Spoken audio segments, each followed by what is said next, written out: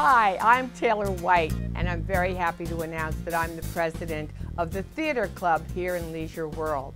It's a brand new world for us, and I hope a brand new beginning with the club.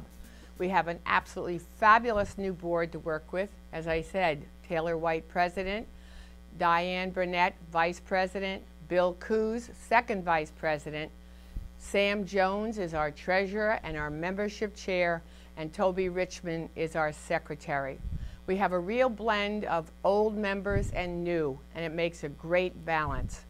We meet the fourth Friday of every month at 10 o'clock in the morning in the loft. Now, for anybody who doesn't know it, the loft is marked as the Little Theater on our official Leisure World map.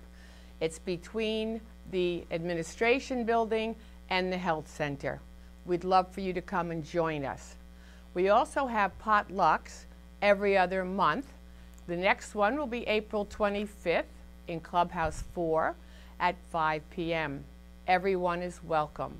We share food and then afterwards we give our little show and each uh, time we have a potluck, we're going to try to do a theme this year.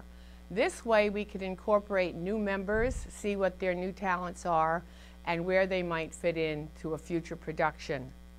I neither sing nor dance. I'm an actress. So we're going to try to expand that a little bit for the theater club as well, to give those people who feel that there are not good singers a chance to have a different venue. Even if you're only interested in theater, we even want people who would be good audience members. If you like theater in any way, please come and join us. Now, we have some exciting news coming up.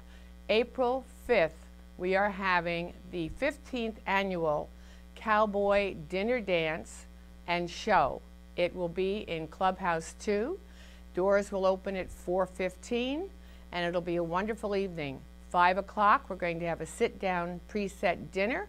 6 to 7, we're going to have a wonderful cowpoke show. Lots of fun, lots of singing, dancing, and acting, so I can be there too.